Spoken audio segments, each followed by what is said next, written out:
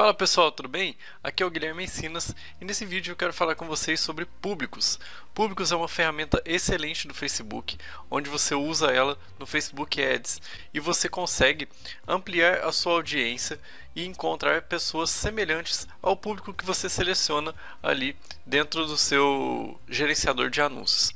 Então, vamos trabalhar aqui público semelhante e público personalizado para você entender bem o que, que se trata de cada um deles. Recentemente o Facebook mudou muito essa ferramenta de públicos e tem várias opções para você trabalhar aqui dentro. Eu vou mostrar algumas delas aqui para a aula não ficar tão extensa, mas eu sugiro que você entre aqui na parte de públicos e faça vários testes para você criar seus anúncios e fazer anúncios eficientes para converter em vendas. Então aqui na minha tela você tem aqui a página de públicos. Como que você entra nela? Quando você acessa aqui os três tracinhos em biblioteca de ativos, quando você está dentro da sua fanpage, tem essa barra aí em cima do Facebook Business. Você vai aqui em todas as ferramentas, ativos e você vai encontrar públicos. E aí você vai cair nessa página em que eu estou. Bom, e aqui dentro para construir seus públicos você tem três tipos para montar. Você tem o público personalizado, público semelhante e público salvo. O público personalizado você pode criar listas através de tráfego do seu site, você pode subir lista de clientes aqui dentro e fazer anúncios para esses clientes que estão na lista. Você pode fazer através de atividade em aplicativos, atividade offline. Você pode pegar um vídeo que você posta na sua fanpage, por exemplo, e fazer um público através desse vídeo de pessoas que já assistiram esse vídeo. Você pode pegar do perfil do seu Instagram que seja comercial você pode fazer através de um evento no Facebook ou através da sua própria página. Aqui eu vou fazer alguns exemplos para você entender e, e, ficar mais claro sobre essa parte de públicos. Se você quiser fazer um público através da sua página do Facebook, então você vai clicar aqui, página do Facebook, ele vai abrir essa página aqui, onde você pode é, selecionar a página que você quer criar o seu público. Então eu vou colocar a minha aqui, Guilherme Ensinas, e aqui ele mostra que eu posso criar um público de todas as pessoas que se envolveram com a minha página nos últimos 365 dias. Aqui no caso, se você fazer uma campanha de 90 dias, por exemplo, de conteúdo, um conteúdo em massa, você faz 60 dias, 30 dias, igual o pessoal faz aqueles desafios de 30 dias de criar conteúdo, vários tipos de conteúdo, é, você pode pegar essa audiência mais quente que você fez aí nos 30, 60 dias e pode criar um público deles.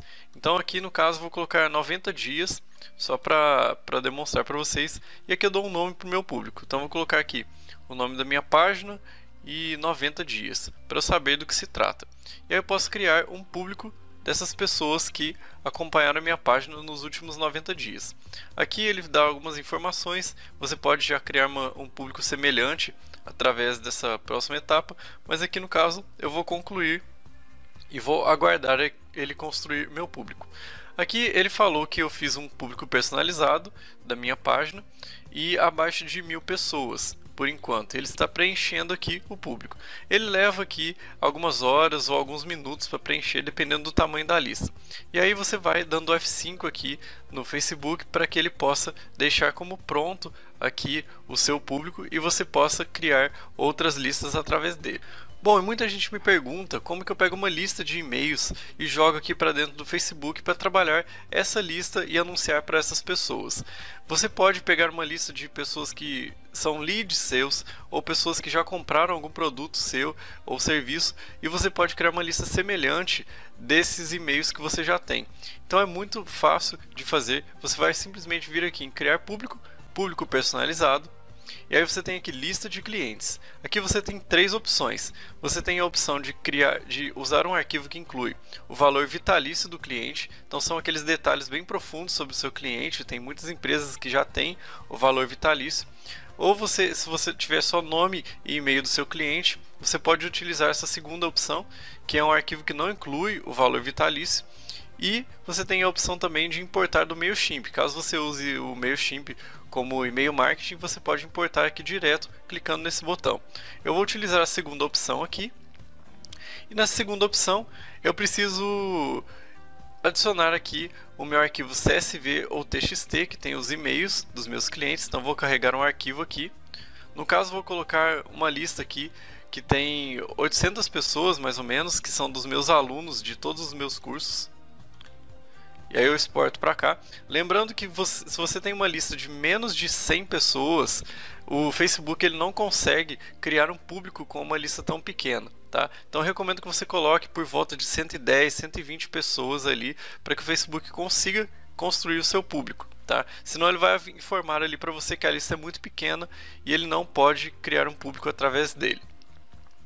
E aqui eu preciso selecionar minha origem do carregamento para o Facebook saber do que se trata essa lista que eu estou jogando aqui para dentro. Então eu vou falar que essa lista é de clientes e parceiros. E aqui eu dou um nome para o meu público. vou colocar aqui alunos ensinas setembro. Vou em avançar. Ele me informa aqui que tem e-mails. Ele mapeou aqui e viu que tem e-mails. Então eu vou carregar e criar. Aqui ele encontrou 875 e-mails. Eu venho aqui e posso concluir o, o meu público. Bom, então aqui eu fiz duas listas de público personalizado que eles estão preenchendo aqui. Então daqui a pouco ele já vai ficar ok para eu poder utilizar. Então vai ficar igual essas aqui que eu já tenho salvo aqui dentro da, da minha conta, tá? E vamos ver como que funciona o público semelhante. O público semelhante é o seguinte: eu tenho aqui, por exemplo, a minha lista de alunos que tem 875 e-mails. Se eu fizer um anúncio e utilizar essa lista, ele vai anunciar para 875 pessoas, tá? E no caso, isso aqui funcionaria mais como remarketing. E que eu poderia indicar um outro produto, um outro serviço que eu tenho, alguma coisa desse tipo, que é o que muita gente faz. Mas eu posso também pegar essa lista de 800 pessoas que compraram meu curso de Facebook, Instagram, por exemplo, e eu posso criar um público através desse público aqui que é o público semelhante. São pessoas que são parecidas, que têm interesses parecidos com esses aqui e que provavelmente podem comprar meu curso. Então isso é muito eficiente aqui dentro do Facebook, funciona muito bem. Como que eu crio esse público semelhante? Aqui no caso, como eu já criei esse aqui, é só eu habilitar ele aqui. Eu venho aqui nos três pontinhos, criar semelhante. Ele vai criar aqui para mim uma fonte semelhante do Alunos Ensina Setembro eu seleciono aqui Brasil. E aqui eu seleciono o tamanho do meu público. Eu geralmente coloco 1 ou 3%. 1% é, é o mais eficiente porque ele vai ter interesses bem parecidos com aqueles ali. São 1 milhão de pessoas que têm interesses parecidos com o Alunos Ensina Setembro. Se eu colocar aqui 10%, ele vai me trazer 10 milhões de pessoas que têm interesses parecidos. Porém, esses 10 milhões de pessoas já vai ficar um público muito espalhado. Então, eu não acho muito eficiente utilizar. Então, geralmente eu utilizo 1%, 3%, no máximo 5, tá? Mas o 5 eu tenho que segmentar bem para ele funcionar bem. E aqui no caso 1% eu crio o meu público. Então ele está criando aqui meu público semelhante. E ele vai sempre aparecer assim, ó, lookalike 1%, que é o que eu utilizei. Então aqui é o público semelhante de alunos ensino setembro. Então ele está preenchendo aqui, tá? Então ele vai ficar aqui mais ou menos é, 1 milhão de pessoas, 1 milhão 700 pessoas, alguma coisa desse tipo. E como que eu faço para utilizar esses públicos nos meus anúncios? Eu vou agora no gerenciador de anúncios e vou criar um anúncio comum, certo? Vou colocar aqui criar uma nova campanha e vou escolher o que eu quero aqui, vou colocar envolvimento. Para não perder muito tempo eu não vou preencher nada aqui, tá?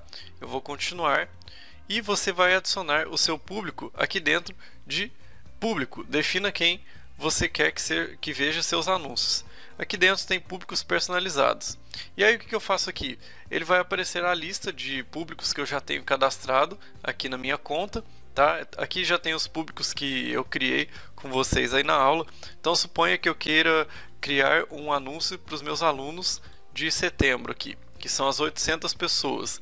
E eu posso também, junto com isso, adicionar mais de um público, tá? Então eu quero que as pessoas que curtiram a minha página, as pessoas que, é, que são os meus alunos, vejam esse anúncio que eu vou criar. E eu posso também excluir públicos, então isso é muito legal é muito inteligente né, criar isso, porque é o seguinte: suponha que eu queira é, fazer anúncios do meu curso de Facebook. E dentro desse anúncio, eu, que, eu quero que os meus alunos que já estão cadastrados no curso não vejam esse anúncio. E aí eu não vou gastar dinheiro à toa, tá? Aí eu pego essa lista de alunos que eu tenho e coloco aqui para excluir essas pessoas dentro do meu anúncio. E isso faz com que eu gaste menos dinheiro e faz com que os alunos não fiquem vendo é, as propagandas do curso que eles já têm. E isso é, é muito legal aqui dentro do Facebook. E aí você ainda pode, além de colocar seus públicos, você pode continuar segmentando ainda mais esses públicos para ele ficar ainda mais eficiente. Então você pode pegar através desses públicos pessoas que trabalham que têm interesse de empreendedorismo ou só as pessoas, só o público feminino, só o masculino.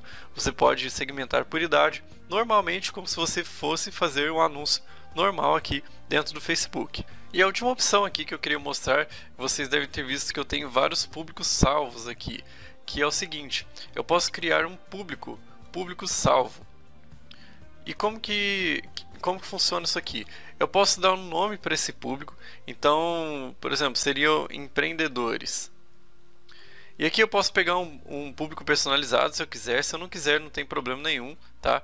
E, por exemplo, é, os meus alunos aqui, eu quero encontrar apenas os que são que trabalham com empreendedorismo. E empreendedorismo de 22 a 30 anos, por exemplo. E aqui eu posso pegar os, os interesses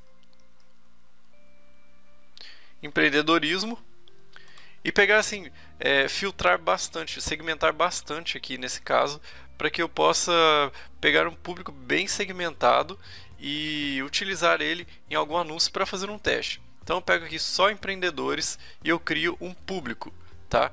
E esse público aqui ele vai ficar salvo é, nessas, nesses aqui. Eu posso criar um público semelhante a esse aqui se ele ficar muito pequeno tá? E com isso eu consigo anunciar e fazer testes para públicos bem segmentados e ele fica bem eficiente aqui na hora de você converter em vendas. Bom, então essas foram as dicas de públicos. Eu espero que você tenha gostado dessas dicas. Se tiver alguma dúvida, pode deixar abaixo aqui nos comentários. Eu vou ficando por aqui. Um grande abraço e até a próxima.